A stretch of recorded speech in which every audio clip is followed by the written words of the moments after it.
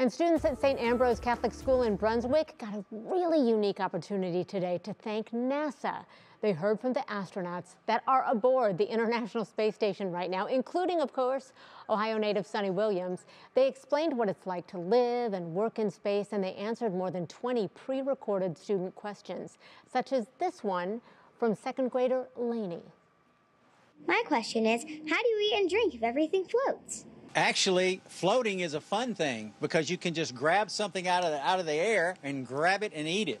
It felt really good because I've actually wanted to ask that question a lot.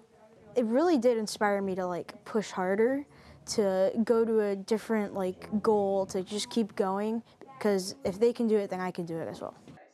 Uh-huh. Oh, St. Ambrose students weren't the only ones watching, by the way. Schools across the Catholic Diocese of Cleveland were invited to watch as well.